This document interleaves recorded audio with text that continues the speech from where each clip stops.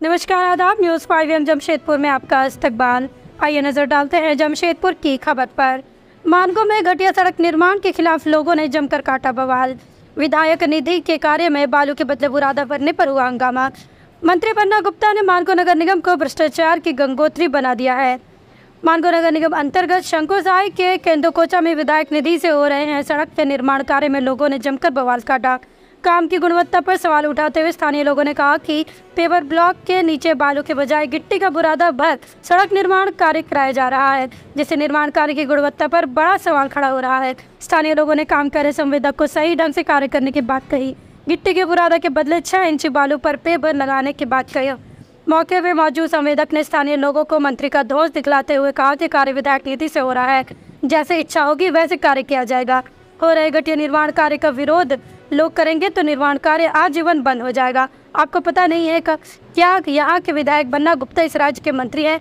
दगबंगई से लोगों ने गिट्टी का बुरादा भरकर लगभग आधे सड़क का निर्माण करवा दिया है। स्थानीय लोगों ने घटिया निर्माण लगातार होते देख इसकी जानकारी भाजपा नेता विकास सिंह को दी।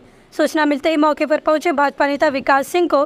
स्थानीय महिलाओं ने हो रहे निर्माण कार्य को दिखलाते हुए कहा कि बालू के बदले गिट्टी का बुरादा डालकर संवेदक कार्य कर रहे हैं, विरोध करने में भद्दी भद्दी गालियाँ देते हैं और काम बंद करने की धमकी देते हैं। मौके पर पहुँचे भाजपा नेता विकास सिंह ने बिछाए गए पेपर ब्लॉक को उठाकर देखा तो नीचे में एक इंच भी बालू का अंश नहीं पाया गया।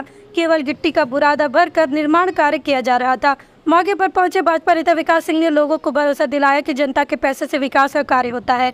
जनता का पैसा दुरुपयोग में नहीं होगा इस्तेमाल और ये बात बर्दाश्त नहीं की जाएगी। विकास सिंह ने कार्यस्थल से मानगो नगर निगम के नगर आयुक्त को मामले की जानकारी दूरभाष में देते हुए हो रहे घटिया निर्माण की जानकारी देकर सुधारने की बात कही। विकास सिंह ने कहा कि भ्रष्टाचार की गंगोत्री मानगो नगर निगम बन गया है।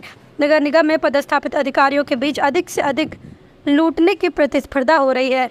हो रहे घटिया निर्माण ने कर में सुधार कर सही तरीके से कार्य नहीं कराया गया तो मानगो नगर निगम के खिलाफ जोरदार आंदोलन किया जाएगा।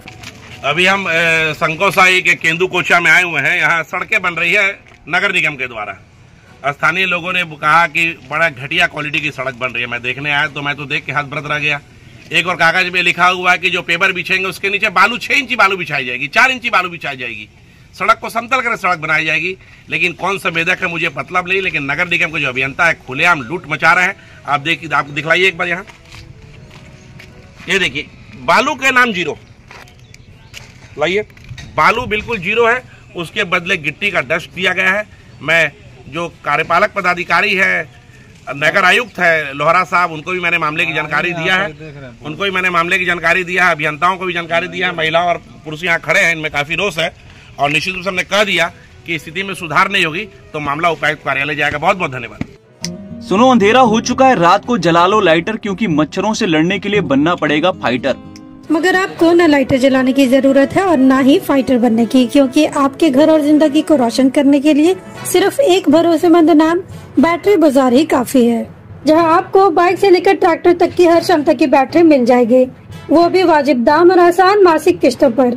चाहे आप किसी भी ब्रांड की बैटरी या इन्वर्टर चाहते हो, बैटरी बाज़ार आपकी ज़रूरत पूरी करेगा। साथ ही दमदार same day on spot home available service के साथ। अवेलेबिलिटी ऑफ़ स्टाफ प्रोवाइड करते हैं ताकि आपका एक लम्हा भी अंधेरे में ना गुजरे।